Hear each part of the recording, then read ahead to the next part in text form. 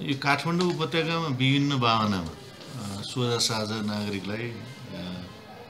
विभिन्न प्रलोभनमा पारी जति पनि ठगिएका अ,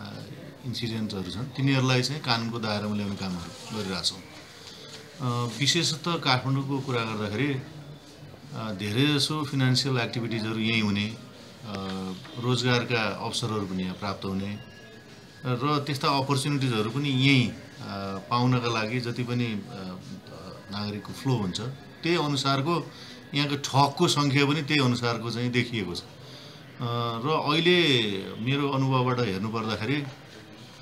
करिब हामीले तिन सयजना जति ठगहरूलाई कानुनीको दायरामा ल्याइसकेका छौँ विभिन्न किसिमका घटनाहरूमा। धेरैजसो ठगीको चाहिँ मा कस्तो देखिन्छ भने ठुला पहुँचवाला व्यक्तिसँगको आफ्नो सम्बन्ध देखाएर चाहे त्यो फोटो खिचेर होस् चाहे अन्य टेलिफोन चाहिँ वार्ता गराएर होस् अथवा उसलाई कुनै पनि प्रलोभनमा पार्ने खालको एउटा त्यो खालको देखिन्छ। अर्को गिरोहको रूपमा सङ्गठित रूपमा ठगी गर्ने कामहरू पनि भइरहेछ। जस्तो अब जग्गाको विषय गऱ्यो भने रजिस्ट्रेसन पास गराउने किर्ते गराउने जालसाजी गर्ने अर्कोको नाउँमा पारे पास गराइदिने अथवा पास गराइदिइसकेपछि अनि भागिदिने अ, यस्ता किसिमका छन् भने कतिपय अब वैदेशिक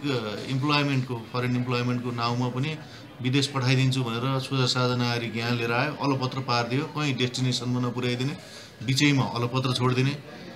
एउटा देश लग्छु भने अर्को देशमा लगेर चाहिँ नि अलपत्र पारिदिने यस्ता किसिमका चाहिँ त्यो वैदेशिक रोजगारीको नाउँमा पनि निकै ठगी हुने घटनाहरू जति पनि थिए त्यसमा हामीलाई आएका नोटिसमा जति पनि आएका छन् र हामीले पनि यहाँहरू मार्फत मिडिया मार्फत होइन सञ्चार मार्फत